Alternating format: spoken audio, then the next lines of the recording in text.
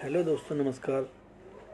आज हम सीखेंगे जो ओबे ड्राइवर ऐप है, उससे में जो हमने अर्निंग की है, उसके पैसे अपने खाते में कैसे ट्रांसफ़र करें। तो सबसे पहले चलिए आप अपना ओबे ड्राइवर ऐप खोल लीजिए, उस पर ये आपकी मेन विंडो ओपन हो जाएगी। उसके बाद आपको ये जो थ्री रोज़ दिख रही है मेन्यू की, इसको आप क्लिक कीजिए।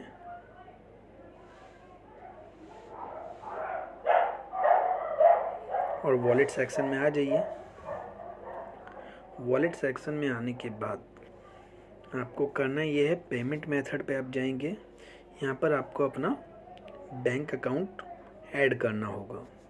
यहाँ पर आपके पास आएगा ऐड न्यू बैंक अकाउंट आप जैसे ही अपना बैंक अकाउंट ऐड करेंगे, अपना bank account number IFSC code और अपना नाम, बिल्कुल एग्जैक्टली ऐड करेंगे इसमें। तो ये यहाँ पर इस तरीके से सेव हो जाएगा।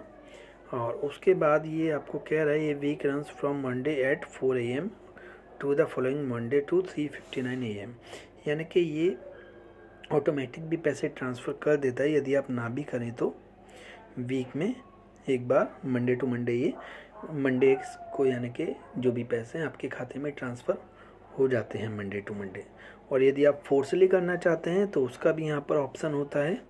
आप क्लिक करेंगे। यहाँ पर ऑप्शन होता है, मैं जो कि इसके पैसे अपने खाते में ट्रांसफ़र कर चुका हूँ।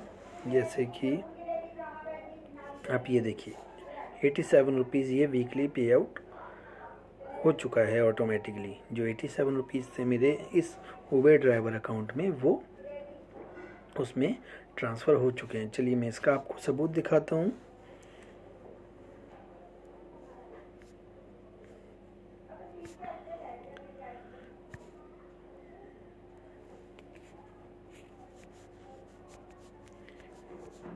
ये पासबुक खोल दिया हमने।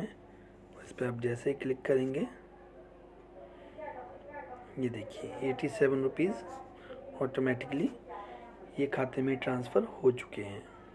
तो बिल्कुल भी चिंता ना करें, जो भी आपके पैसे हैं उबेर ड्राइवर ऐप में, वो ऑटोमेटिकली मंडे टू मंडे आपके अकाउंट में ट्रांसफ़र हो जाते हैं।